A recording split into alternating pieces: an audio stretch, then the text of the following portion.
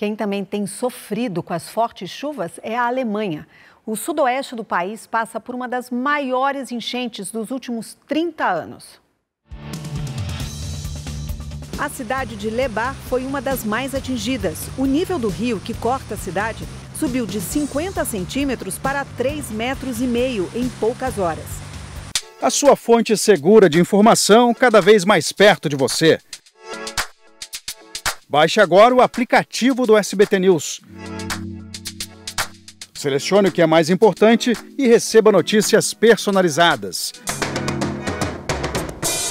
Tudo o que acontece no Brasil e no mundo 24 horas por dia. A informação em tempo real na palma da sua mão.